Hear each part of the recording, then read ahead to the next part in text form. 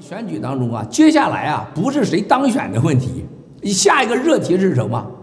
是选当中有多大的丑闻出来？就在咱这几个人快差不多的时候啊，咱俩给他玩个啊一剑封喉，咱就是玩爆料，咱就玩真实的爆料，咱不搞时事节目，哎，咱也不搞正式节目了，然后通过爆料把这些呃呃卖台贼和潜在的卖台贼啊，那么共产党的合作者即将卖台的人揭发出来，让台湾人民看到，哇，原来是在我们这块选举的，天天在拜票的人，原来背后全是这样。这就找出来了三个代表啊，叫什么？郭台铭、韩国瑜、柯文哲。你觉得他仨是何能何德呀？去管理台湾两千三百万人民，发财在大陆，精神境界，你过去干过啥？包括你柯文哲，你干过啥？你说你韩国瑜，你干过啥？台湾完全是真是什么都不厉害，口炮厉害，全是一帮口炮党。郭台铭，你精精神营生意好，你要是经营真的是有本事，能管政治，能管台湾的话，你看看郭台铭在世界关系当中他是干什么的？他是干啥的？你觉得美国总统会喜欢一个、相信一个骗了他一百万工人，叫他没面子极了？你知道，在美国政政治上有两个说总统总统，实际说起来就低头，他自认为没面子的，第一号人物郭台铭。一百万工作岗位让他丢尽了脸，他极没面子。他在任何地方谈的都是活你知道吗？他能咽下这口气吗？他还没办法。一个美国总统也被他给给给给威胁了，他还装着跟他和好，因为什么？他要把他推出去，企业家骂他。你说这是什么玩意儿？一个美国总统被真的是被强奸了的感觉，让他这么弄法，他能帮他吗？他能帮助你台湾吗？只能害台湾一个。敢玩弄美国总统的台湾商人，他要去去选台湾总统，领导台湾人民走向自由和尊重安全，不胡扯吗？第二个韩国瑜，韩国瑜在北大受教育啊，天天就是没有办公桌，得不能没有办公床的文化。你学啥了？你天天上课了吗？天天办公床上学习。你说现在他要给台湾人民带来什么未来？他不开玩笑吗？柯文哲我就甭说了。你说的各种关系跟大陆的连接，作为一个备胎，你干过啥呀？你能代表台湾人民？你敢 PK 这个大游戏吗？你能跳进了中美建这三节游戏吗？你有啥能？何能何德？呃，过去的几年台北可以看得出来。那么现在你从这个来看，文正先生，我们台湾现在发自内心的说，如果台湾能事实上独立，没有台湾人大流血，我第一个赞成。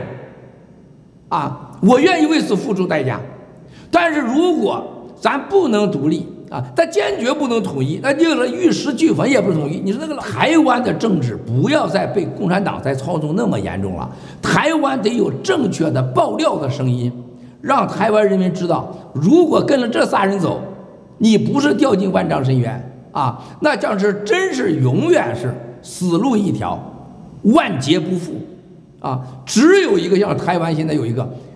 理性的、客观的，让台湾有一个新生命，不要在统独问题绕弯子，而且抓住美国、川普总统和美全美上下集体反共的这个机会。你要看那个斯拜丁将军，他是白宫出来的，他明确的已经说出来啊，只共产党是美国最大敌人，不是中国啊。这是我好哥们儿斯拜丁将军，绝对好哥们儿。他是昨天直播中明确说，共产党是我们最大的敌人。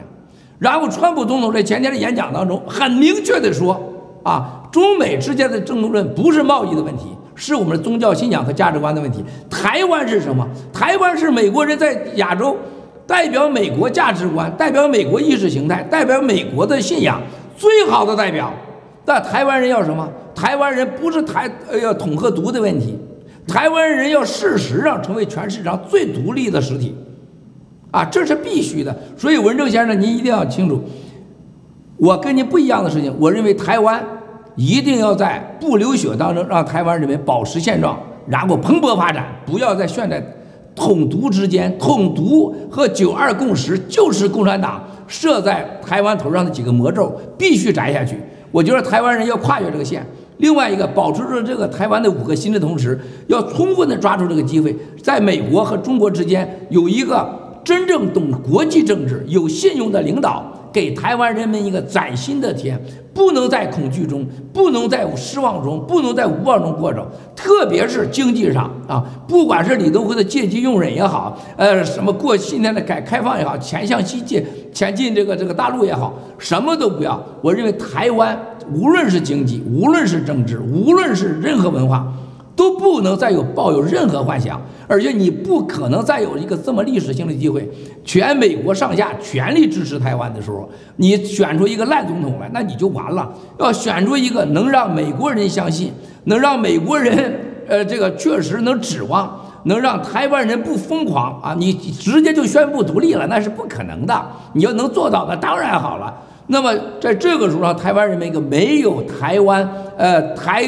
呃，这个统独意识和九二共识围绕的这三个紧箍咒，一个新的台湾时代，我叫台湾新时代啊，这是我真正希望的。最后我要告诉大家的事情，文正先生，台香港两百万人上街和两次上街，告诉了台湾一个最好的办法，只要台湾人民别像陈文强说一样，你假独，你假要自由，你假勇敢，你。你们走上街去，共导的共军的导弹不会打过来，就像不会像香港人民似的，像那个样子的，台湾会更强大。